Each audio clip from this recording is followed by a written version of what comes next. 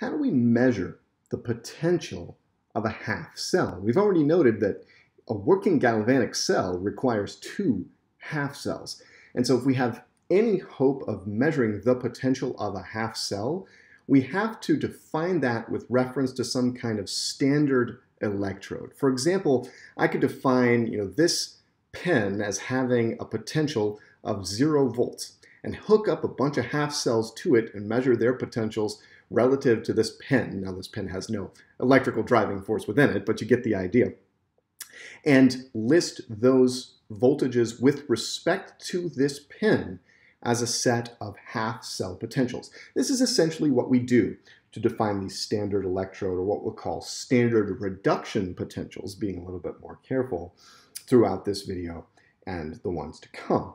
So I want to talk a little bit about how this works in an actual context. So the, the basic idea is that we imagine we want to measure the potential of, let's say, this copper half cell and this silver half cell and this lead half cell. And so what we do is we take the copper half cell, and I'm going to try to pull it out here as best I can without pulling anything else out. We take the copper half cell out, there we go, and we hook it up to some kind of standard half cell, right? I, I hook it up to my standard, and I'm just going to represent the standard in a box. We're going to call it the standard hydrogen electrode, and so I'm just going to call it the SHE. And the SHE has a potential that is defined as 0.00 volts. And we can hook these up, use a salt bridge, do all the galvanic cell rigmarole, and we can measure the voltage of the copper side. And that measured voltage is the standard potential. I'll sometimes represent this with an R or a red subscript. The standard potential of the copper half cell.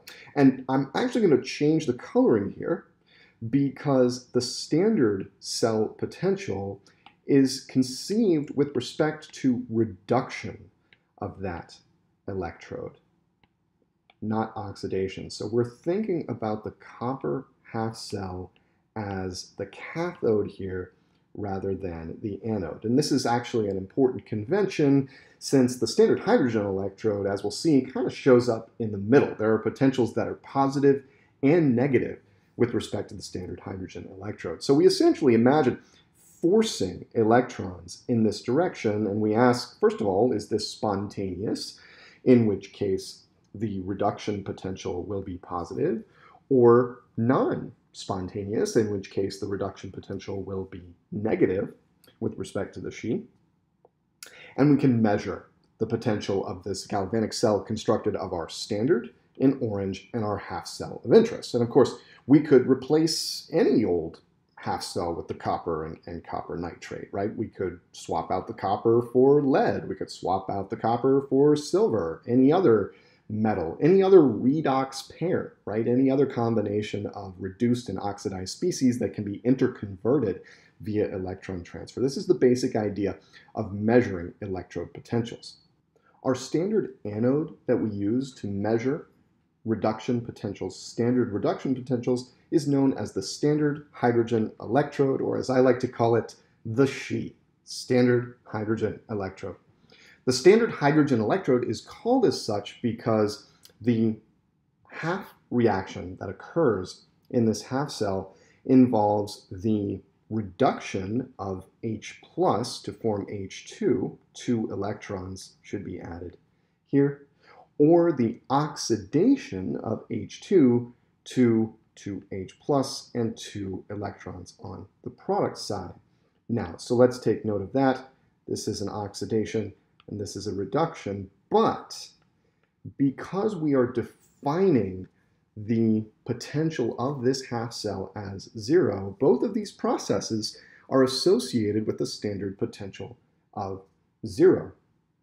And what we do to measure the potential of a cell of interest is hook this in with another half cell and measure the potential of the resulting galvanic cell, treating this as the anode. So we're thinking of the SHE typically when measuring standard electrode potentials or standard reduction potentials as the source of electrons as the anode, right? Such that electrons are flowing out of this wire and into our galvanic cell, our half cell rather, of interest. Now, let's dig into the SHE on a little bit more, uh, on a little bit of a deeper level here. So we've seen the half reactions. It's the reduction of two protons to form H2, or the oxidation of H2 to form two protons and two electrons. And a inert platinum electrode is used in the SHE. We can see it right here.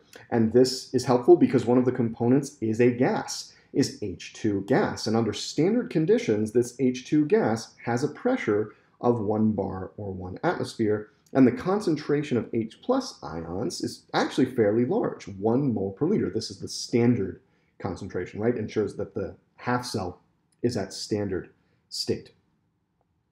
At the platinum electrode is where the electron transfer actually occurs. So electrons come from the H2 and go into the platinum and out the cell and leave behind H+, or as we're seeing it here, we're actually seeing the opposite process, H plus picking up electrons from the platinum surface to form H2. What actually happens depends on the potential of the half cell connected to the SHE relative to the SHE itself, whether it's positive or negative.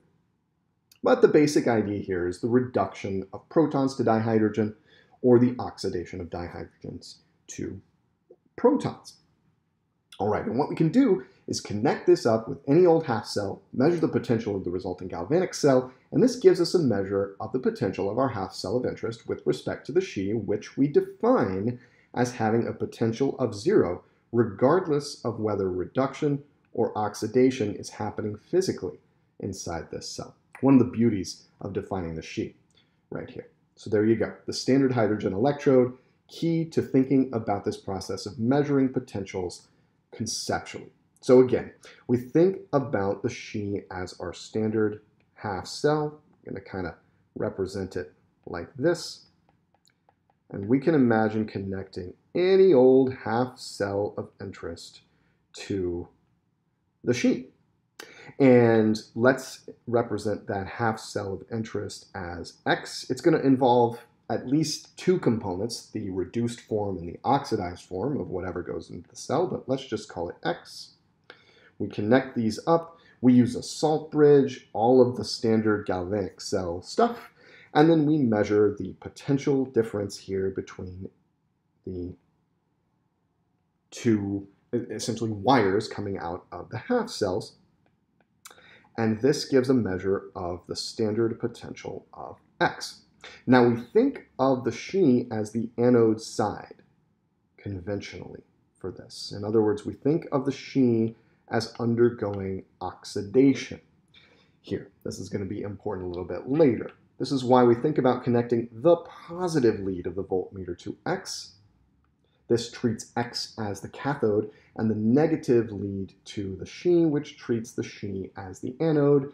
When we do that, the voltage displayed is the standard reduction potential E naught X for the half cell X. And again, that half cell is going to involve the reduced component and an oxidized component, something like copper metal and copper 2 plus, lead metal and lead 2 plus, or even something like oxalate anion and carbon dioxide, where oxalate is the reduced form of carbon dioxide.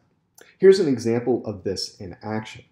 When we hook up the SHE to the copper copper 2 electrode and we measure the voltage of the resulting galvanic cell, we get a result of 0.337 volts.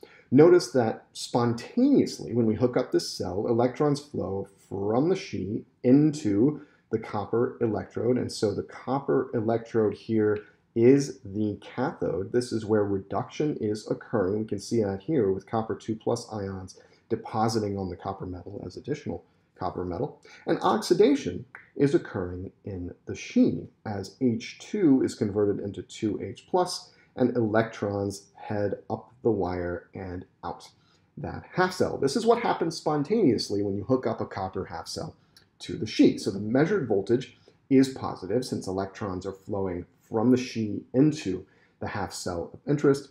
And the energy, we could say, with which they're flowing is 0.337 volts relative to the standard SHE potential of zero volts. And notice here as well, we're at standard state in both half cells, one molar H plus, one atmosphere H2, and one molar copper 2 plus. And the temperature is 298 Kelvin, and temperature does exert effect on an effect on cell potential that we'll encounter later.